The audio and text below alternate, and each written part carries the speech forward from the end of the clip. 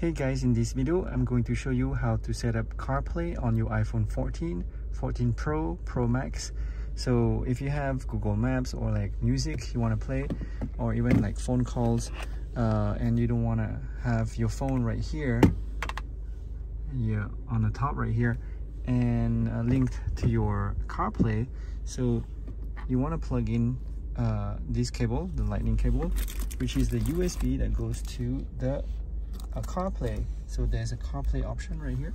So when I plug it in, it's gonna ask me later, uh, so would you like to enable CarPlay? So once I plug in, it's gonna ask me on the screen, Apple CarPlay may use some user information, vehicle information, location and speed to enhance service. It is subject to Apple privacy. And then so I'm gonna do uh, always enable right here. And so it's gonna ask me right here.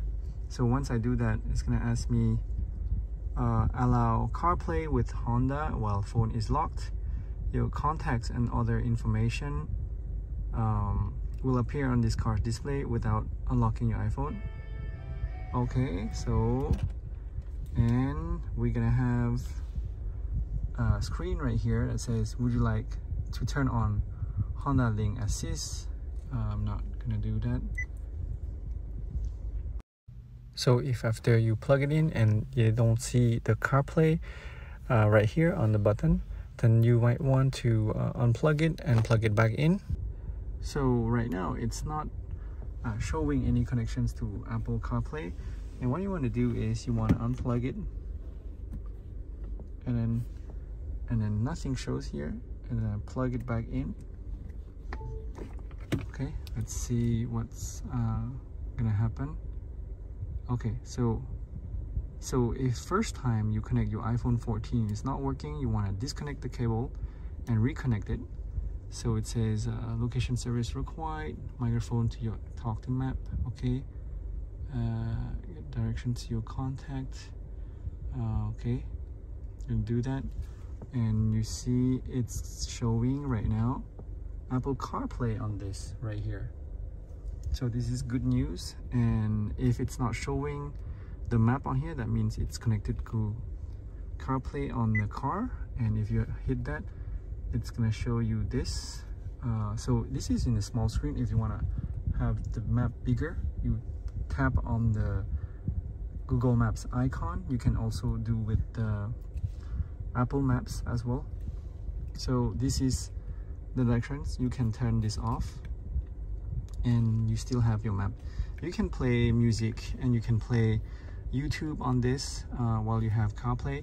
So this is nice and you can receive calls. Uh, so if people call you you don't have to pick it up.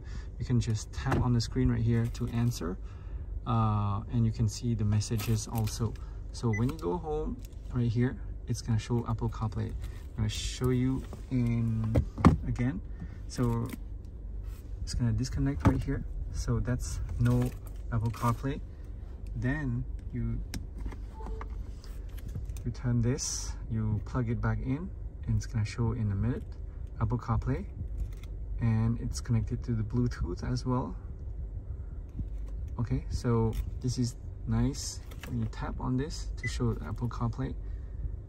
And right here that's uh, your directions. You can have music you can have you know you can touch this without you know having your phone uh, right here right? Or you can you know just put your phone here charging if you have a wireless charger. Uh, the good thing about plugging this it's charging your phone at the same time. So this is nice it's charging right now. 76 percent you can have messages and also different uh, can have contacts as well. You can call people. Okay. All right if you guys found this video helpful please give a thumbs up. Again if the first time you plug in it doesn't show CarPlay because it's a new phone you just unplug it and plug it back in and it's gonna show CarPlay. See you guys in next video. Bye